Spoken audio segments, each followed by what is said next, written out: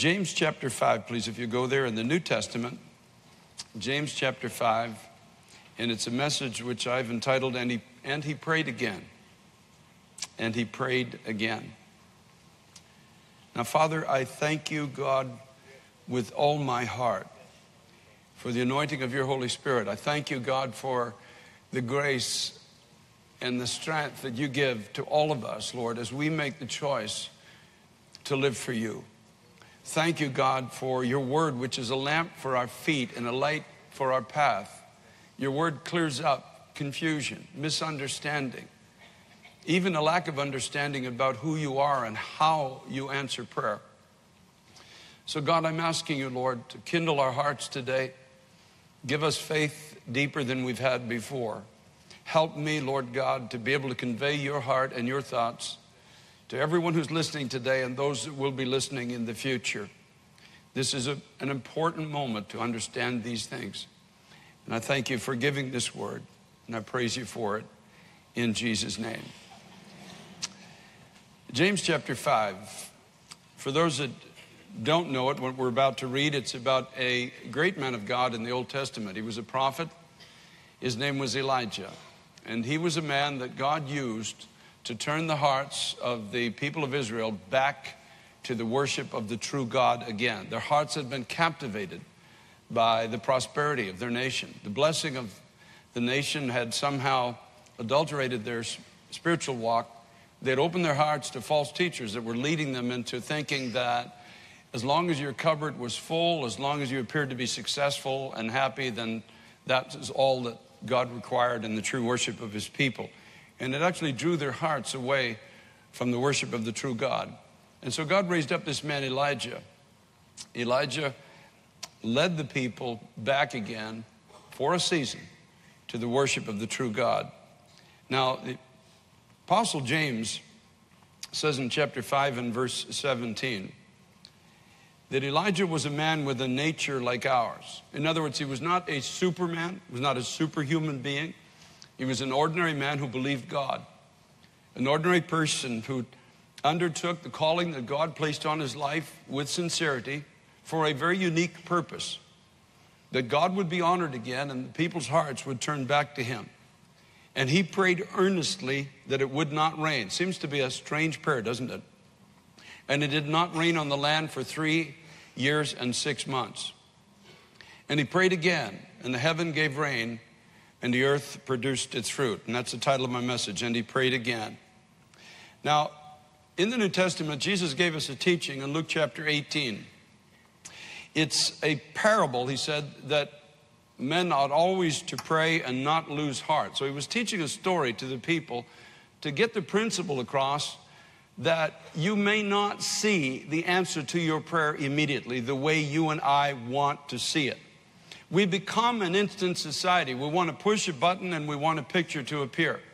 We want to put a dollar in a vending machine and we want our whatever it is we want, we want it right away. But that's not the way the kingdom of God works. His ways are not our ways. The prophet Isaiah said, His thoughts are not our thoughts. He will answer our prayer.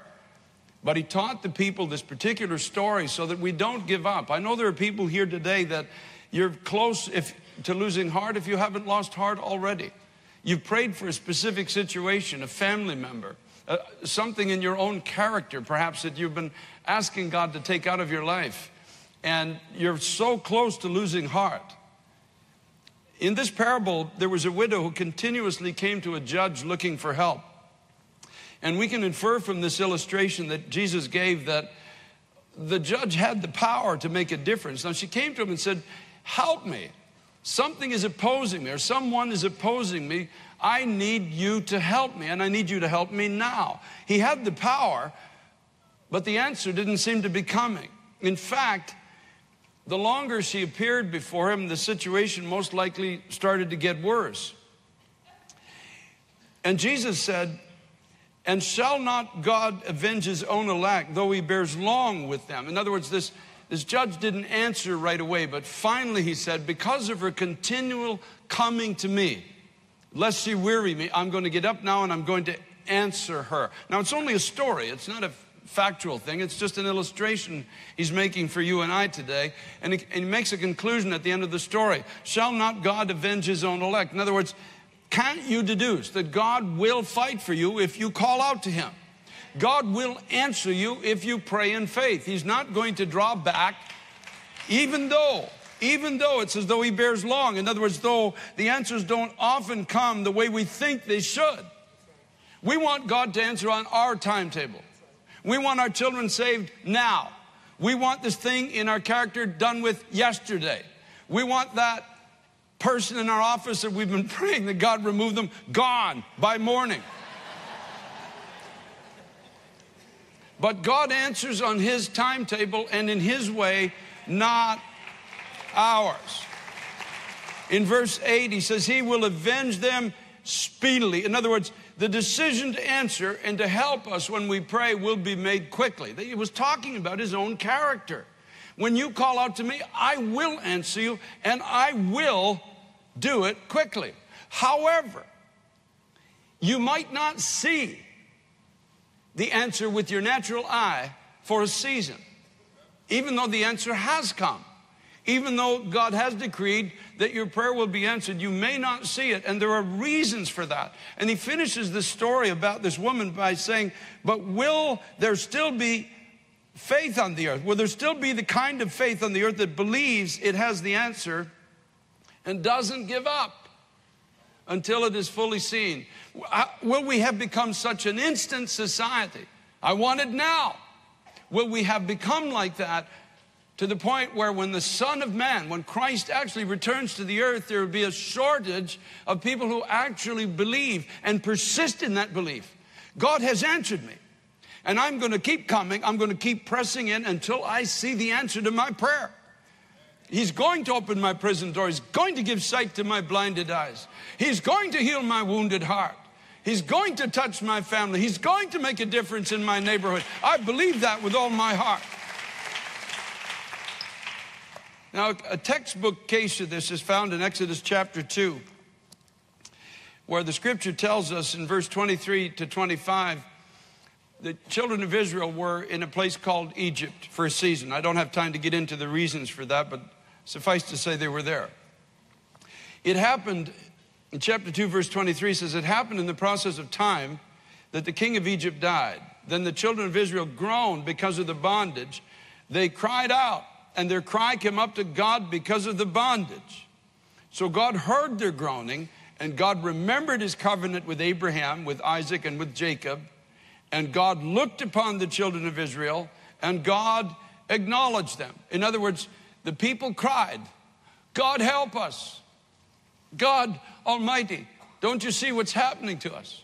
We are your people. We're being corralled like cattle. We're being oppressed, ridiculed, mocked, controlled. We're not free the way you said we should be free. D- didn't you say, God, that we would be blessed and become a blessing to those who are upon the earth? And so they began to cry, and it's a collective cry, and it came because of the oppression. It came because of the bondage. It came because the society all around them was marginalizing them and, using them for their own good and vilifying them as believers in the living God. And God heard their cry, and the scripture says he acknowledged them. In other words, it technically means that he accepted them as his own people and he answered their cry. He answered it. Now we go to chapter 3 in verse 7 says, And the Lord said, I've surely seen the oppression of my people who are in Egypt, and I've heard their cry because of their taskmasters, for I know their sorrows. So I've come down to deliver them out of the hand of the Egyptians, and to bring them up from that land to a good and large land to a land flowing with milk and honey, to the place of the Canaanites, the Hittites, the Amorites, the Perizzites, the Hivites, and the Jebusites. Now, therefore, behold, the cry of the children of Israel has come to me. I've also seen the oppression with which the Egyptians oppressed them. Come now, this is to Moses he's speaking. Come now, therefore, and I will send you to Pharaoh that you may bring my people, the children of Israel, out of Egypt. Now, I want you to just take a journey with me in your mind. God heard the cry. And he looked down and he said, I'm, I'm going to answer you. I, I'm going to deliver you. Your answer has come. Now, here are the people of Israel over here crying out to God. Perhaps every day, maybe once an hour. I don't know how often. I think it was a constant cry. And so God could have snapped his fingers and opened the borders. He could have created chariots and horses. He could have created an army out of nothing. He could have sent angels. He could have just caused all of Egypt to die right on the spot. He could have done it so many ways, but he chooses a way that maybe wouldn't be our first choice when we pray. This is not the way we want God to do things. He goes way over into another place, into a desert. He finds an old man who's 80 years old and says, and calls him. And while he's calling him, while he's doing all this, the cry is still going on. The point is, God has answered, but the people over here are not seeing the answer yet. But over here, the answer is already starting to manifest. He's called a man called Moses, and he has to deal with Moses. He has to get Moses through his own unbelief. I don't know how long this season took, but he has to get him through his unbelief that, that God could actually use his life for any kind of a divine or a supernatural purpose. Then, once Moses gets through that, then he has to go to his father in law and ask for permission to leave. Then he's got to get his brother convinced that he needs to go with him. Then he's got to load up a donkey with his family and such like and start on foot from where he was into the land of Egypt. And on that journey, the scripture says, tells us his heart was not fully engaged yet with the work that he was called to do. He was not fully separated to God, and he almost died because of it. So we don't know how long that took. Was he sick for three weeks? Was he sick for a month? We don't really know. I just know from the time that God said, I've heard you and I've answered you to over here, to here, to here, to here, to here. It took a long time between those two points, but it doesn't change the fact that God answered the prayer. Then Moses in chapter 4 and verse 31 shows up in the camp of Israel and he tells them the story of God appearing to him in a burning bush, tells him that he's going to stand before Pharaoh and somehow Pharaoh is going to let the people go. It says in verse 31 So the people believed. And when they heard the Lord had visited the children of Israel, that he'd looked on their affliction, they bowed their heads and they worshiped. They believed. It's like those of you who come out to pray Tuesday night and you hear us pray for this country, for this city, and faith enters your heart and you say, God, I believe. God, I believe. In spite of what my eyes see on the street, I believe, Lord, because we've cried out to you. And we're crying out not just for ourselves, we're crying out for the testimony of your name. We're crying out for children of being told that you don't exist. We're crying out because perversion is starting to manifest itself and multiply itself in our streets and on our airways. We're crying out for you to be God to this generation.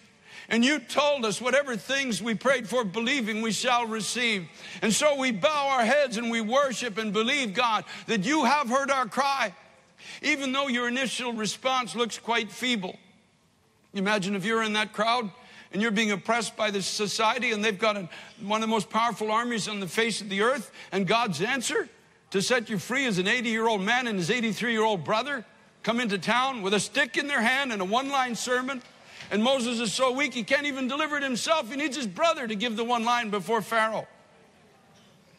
Oh, thank God that his ways are not our ways. His thoughts are not our thoughts. But even after they believed, things got worse.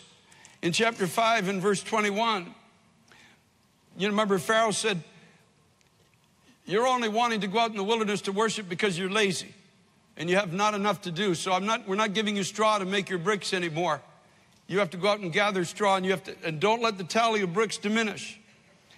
And they said to them, let the Lord look on you. This is now to Moses and Aaron. The children of Israel are speaking in verse 21. And judge, because you've made us abhorrent in the sight of Pharaoh and in the sight of his servants to put a sword in their hand to kill us.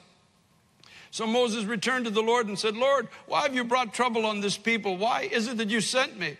For since I came to Pharaoh to speak in your name, he's done evil to this people, and neither have you delivered your people at all. Now, all this has happened since the day that they cried, and God said, I hear you, I acknowledge you, I answer you, I'm going to set you free. All this has happened in sequence. Things are getting worse. Hopelessness is setting in deeper than before. It's my personal opinion that God needed to make sure that everybody wanted to get out of Egypt. He was making it so abhorrent, he was making it so vile, he was making it so oppressive that anybody who's in that crowd is kind of divided. Well, it hasn't been that bad here, and we've had lots to eat, and uh, we've made some nice pyramids for these good people. And anybody who's of that opinion is going to change their mind. The Lord's going to make it so hard. He's going to make it so abhorrent to be part of Egypt that everyone's going to want to get out. But right before the moment of the great deliverance that we know to be called the Exodus, faith was in danger of failing. The people's faith was beginning to fail. And even Moses is coming back to God and accusing him. Why did you send me here? You gave me a promise, but your promise is not being manifested. That's why Jesus says when he comes back, will he really find faith in the earth? Will there be anybody left that believes that God still is the same yesterday, today, and forever? Will there be anybody still left who believes that the same Christ who brought a spiritual awakening to New York City in 1857 that swept thousands and thousands into God's kingdom can do the same thing again? Will there be anybody left who believes God? In Acts chapter 27, the Apostle Paul had a word that saved 276 people who had embarked on a perilous journey the word that God gave him is Paul, you're going to be taken as a prisoner before Caesar. And you're going to stand before Caesar and you're going to testify to him that he is not God. There's only one God. His name is Jesus Christ. Now, Paul had this word, and the word was that I'm going to deliver you, Paul. And not only you, but the 276 people that are sailing with you are also all going to be spared. Now, when I look at the, that voyage and I realize that Paul was a man of prayer, it's my opinion alone, but it's quite possible that he received this word early into the voyage. Because you remember, he said to the shipmaster, he said to those that were in charge, don't undertake this journey because this journey is going to result in the loss of a lot of your goods and it's going to also result in the loss of lives. And it could be at that moment that Paul prayed, and God said, Paul, you're going to be spared. And because you're on that ship, all the people who sail with you are going to be spared as well. But he had to persevere in prayer as things got worse until the answer was actually seen. He had to go into the storm and he had to hear perhaps on the deck above him the, the commotion, the confusion, the, the mast being blown, the mast being blown over in the wind, people throwing over the tackling of the boat over the sides, the confusion, the chaos the storm that it was in. And everything of hell would be against Paul to rob him of faith, of that word that was planted by God in his heart.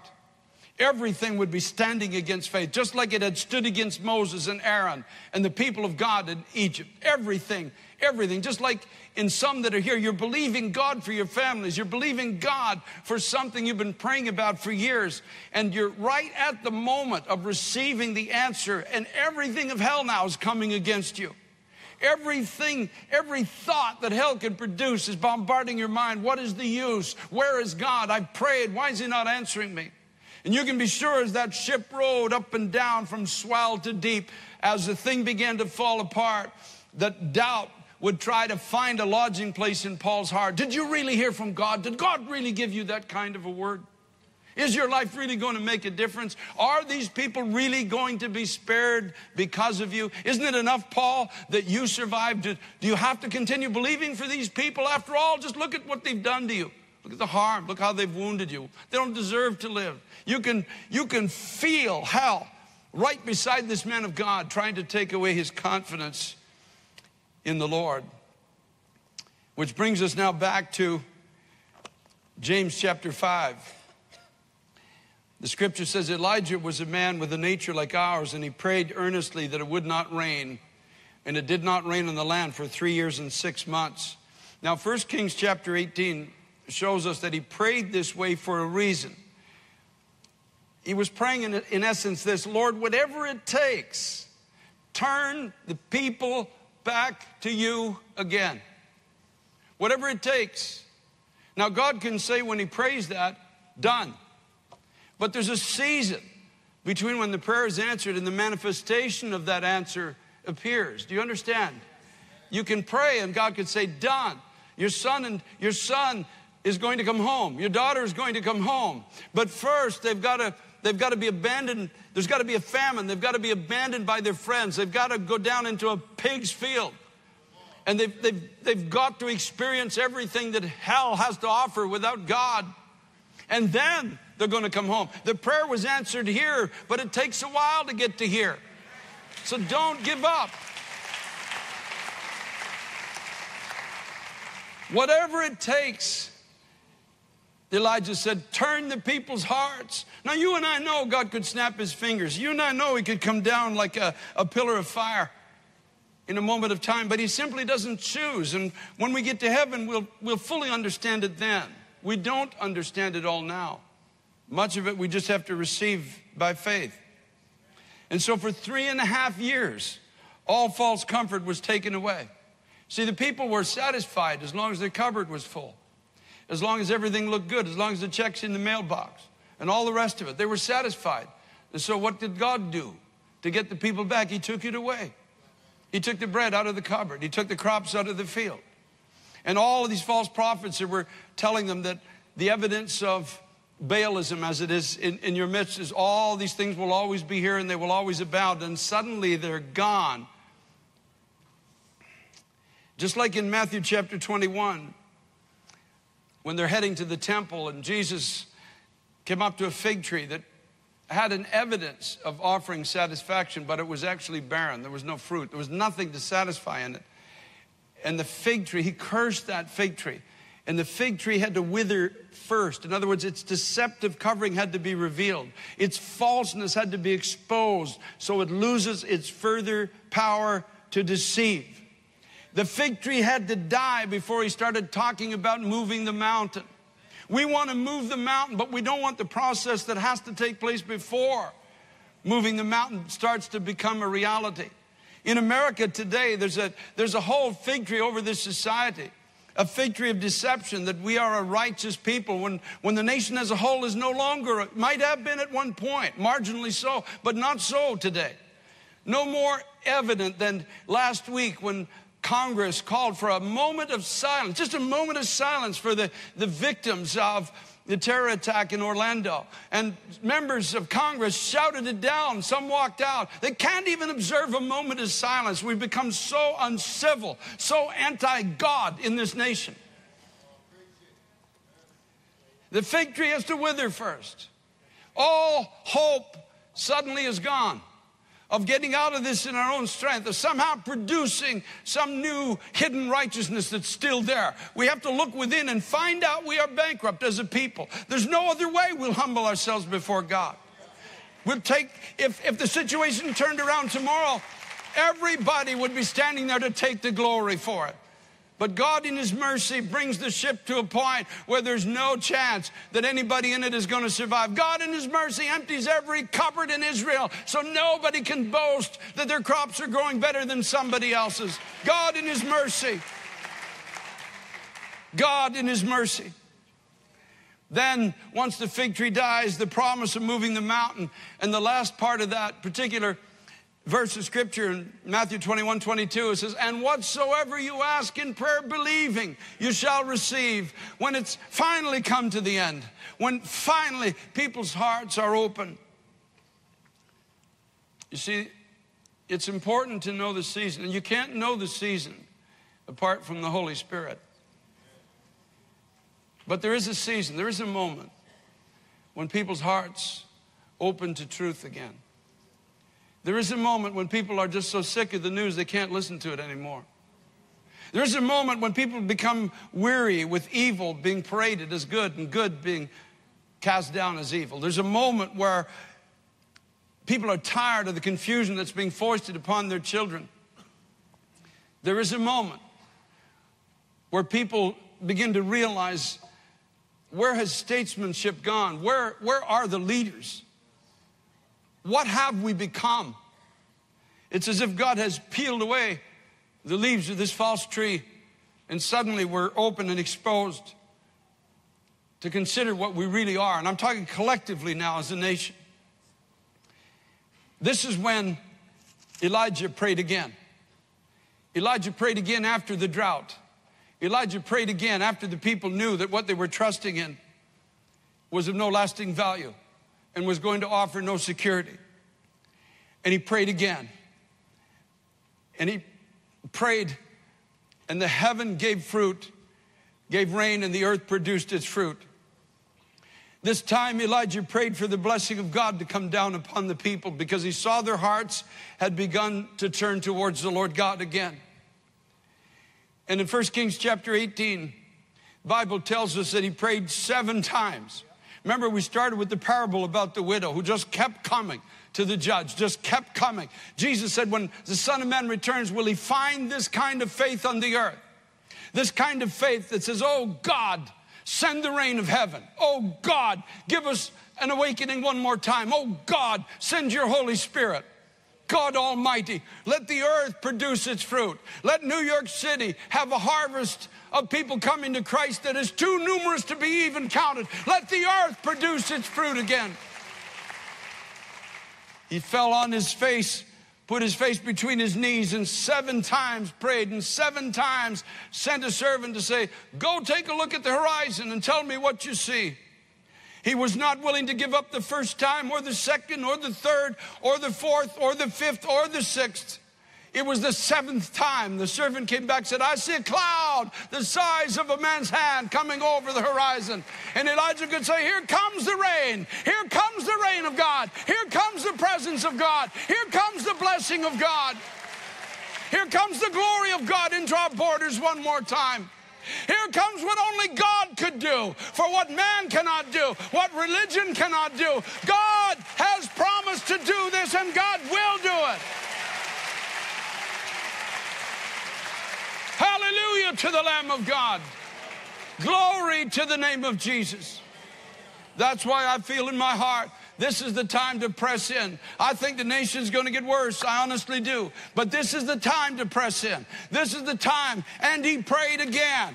Oh God, send the rain. Oh God, lest the people die along the way. Oh God, lest our children perish in our streets. Oh God, oh God, lest our cities start to experience unprecedented violence. God, send the rain, send the rain. Open the heavens upon us.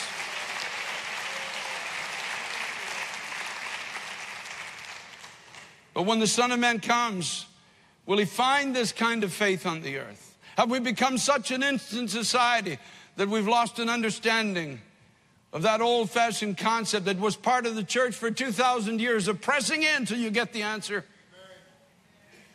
Not so much that you get it, pressing in till it's manifested. You may have gotten it way a long time ago, but it takes a while. It takes a while. But will he find that kind of faith on the earth? That kind of faith that believes Him for situations that are impossible to the, in the natural. That kind of faith for family. That kind of faith that says, I will not let go of my sons and my daughter, my daughters. I will not let go of my grandchildren. I will not let go of my marriage. I, I will not let go. Even though it looks hopeless, I will not let go. God, I cry out to you, Lord. God, I cry out to you for the only one who can make a difference. I cry out to you, God, for issues of my own character that I can't change. Your word says a leopard can't change its spots. I can't change this about my character. But oh God, I cry out to you, Lord, to send the answer into my heart. Send the answer into my life and sovereignly and supernaturally, God, glorify your name by giving me victory in this area of my life. Oh, God, I've carried this wound around in my life for too long. I walk the streets mourning like a dove day in and day out. Oh, God, you're the only one who can heal my heart because you promised that you would come and heal those that have been bruised in heart. So I cry out to you, God, and I ask you, Lord, for the healing that you promised. You say that out of weakness we are made strong. You say in your word you take the foolish things of this world to confound the wise. Oh God, help me now to do something that will glorify your name. Fill me with your Holy Spirit, oh God. Give me the strength that can only come from you and make a difference through my life. I lift up the people that I know, the people in my community, the people in my office, the people I see on the street every day who seem so indifferent to truth. But you know their heart, and there's something arising in this generation. There's a cry now coming into, I can hear it now. There's a cry in this generation. There are so many people who cry themselves to sleep at night. They don't know God. They have no way out. They feel such a hopelessness. I went to get my hair cut the other day, and a lady about my age was cutting my hair, and she said, Something is wrong in this world. I'm afraid. Many of my friends are afraid. We feel that something is wrong and something is about to happen. We need to pray because hearts are open, hearts are crying. Hearts are wanting a living relationship with the living God. We need to press in and pray. Casual prayer will not meet the need of this hour. We need to press in and pray like we've never prayed before. When the Son of Man comes, will he find faith on the earth? Will he find somebody here who still believes that God can send revival to the United States of America? Is there still somebody who believes that he can send an awakening? He is still God.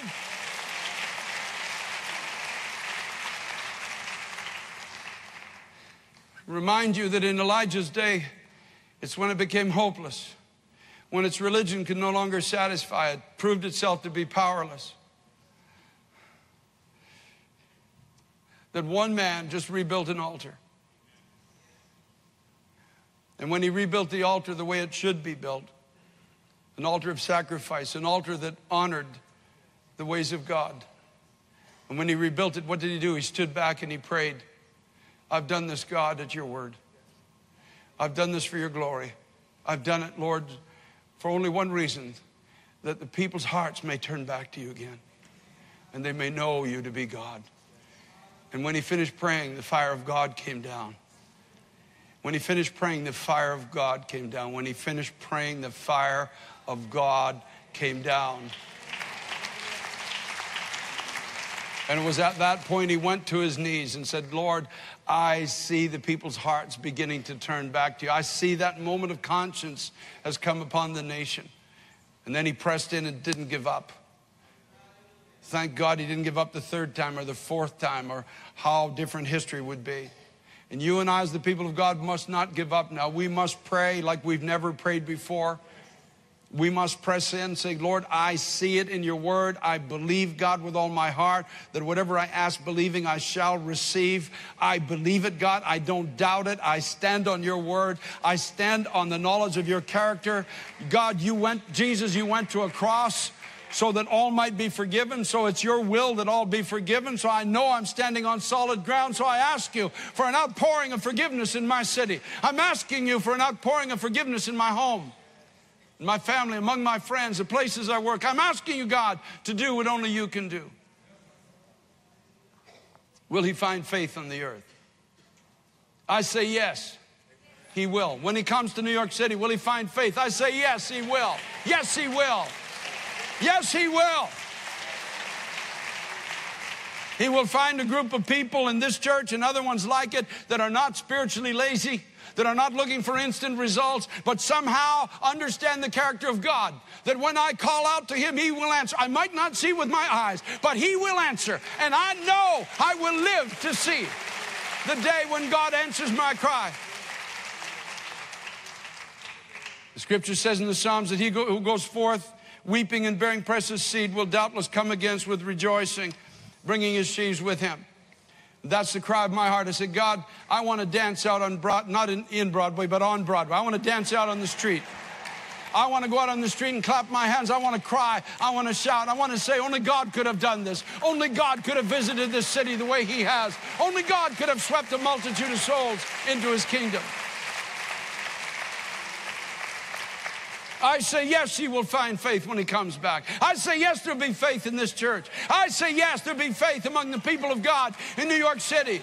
Thank God there will be faith. And we will pray again. And we will pray again. And we will pray again. And we will pray again. And we will pray again. And we will pray again.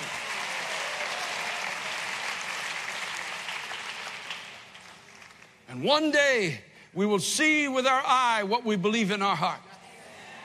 The answer that we've received, we will see it with our eyes. It may get, it may have to get dark before the light comes, but so be it.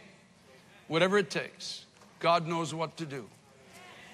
So I want to give an altar call this morning for people who are believing for something, and it's been a long time coming. I want to give an altar call so that you'll not give up. So you can come and make a declaration to God Himself to Jesus, I will not give up. I will not stop. I will not give in to the lies of hell. I will not believe the voices of darkness trying to tell me there's no hope, that my prayers are in vain. I will recover what has been lost. I will fight for what needs to be gained.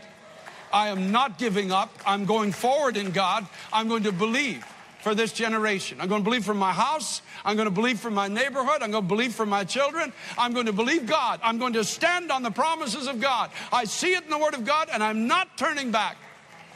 If that's you, we stand, just make your way to this altar, please, if you will. You can stand between the screens in North Jersey and again in the annex. And we are going to pray together. We're going to worship for a moment, then we're going to pray. Let's please stand, everyone. Make your way down to this altar, and we're going to pray together. You've, you've heard the word of the Lord today. The Apostle Paul said, Bring your request to God with thanksgiving. Now, the only way I know that I can bring my request to God with thanksgiving is my heart is fully convinced that if I'm asking according to His will, that He will do it for me. It won't come in my time, it will come in His time.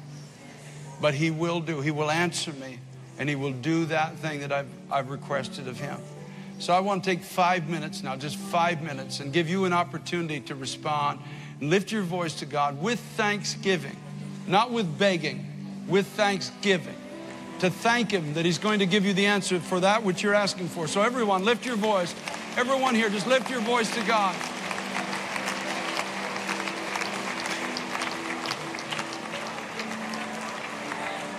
Don't go down into silence. Everybody lift your voice. Everybody pray, everybody. Give God thanks. Father, thank you, Lord. Thank you, God. Thank you, Lord, for answering the cries of our heart. Thank you, God, for being faithful to us as your people. Thank you for moving upon us to pray. Thank you for giving us the power to pray. Thank you, God. Thank you for letting faith arise in our hearts as we hear the word of God. For faith comes by hearing, and hearing by the word of God. Thank you, Lord. You are a God who can be trusted. You will not fail or forsake your people. Thank you, God. Thank you, Lord, for those things that are impossible to us are possible to you. And we believe that with all of our heart. Oh, God. Oh, God. Oh, God. Thank you, Lord. Thank you, Jesus, for what you're doing. Thank you, Lord, for opening doors that only you can open, for bringing healing that only you can bring, for restoring what only you can restore. Thank you, God, for doing what you do, Lord. Thank you, God. Thank you, Lord, for a harvest, God, even in our own home. Thank you, Lord Jesus Christ. Oh, God, I praise you, Lord. I praise you with all my heart. I praise you with all my heart, Lord, for who you are and for what you're doing.